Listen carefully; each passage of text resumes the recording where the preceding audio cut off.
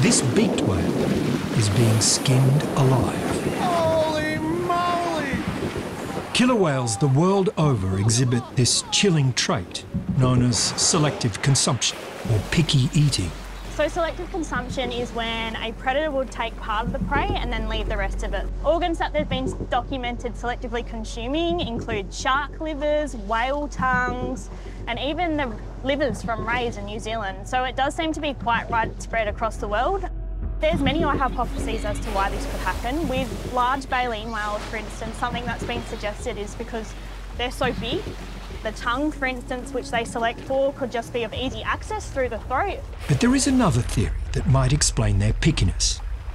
They could be supplementing they're diet. So they might actually be trying to target certain nutrients. And we know that beaked whales, their deep diving cetaceans, have likely got some really specific fatty acids, like their omega-3s, that they might be selecting for. But we can't say at this point.